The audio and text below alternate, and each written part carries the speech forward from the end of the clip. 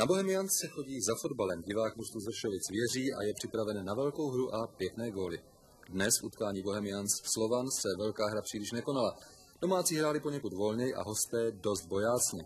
Ani první gól nebyla Hůdkový chaloupka 1-0. Bohemians pak dlouhé minuty zcela kontrolovali průběh hry. Zelenský, Ževno. Až po půl hodině se domácí představili svou typickou akcí. Koncovku však Němec trošku podcenil a trefil Jentič. Slovan hrál dlouho v pohodlném tempu. Těžko mohl výrazně překvapit. Za celé utkání Hruškovi pohrozil, dva, pohrozil dvakrát, teď Bojkovský.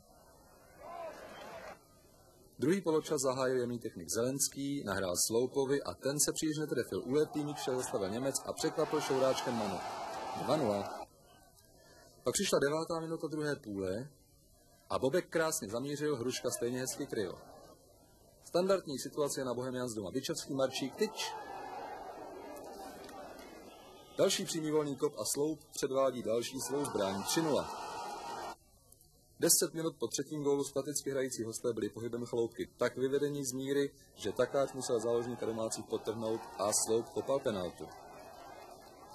Nedal. Poslední slovo v utkání měl rozhodčí vyloučil Masného a to byla smutná tečka za nepříliš vydařeným vystoupením Slovanu v Praze. Prohrál 0-3.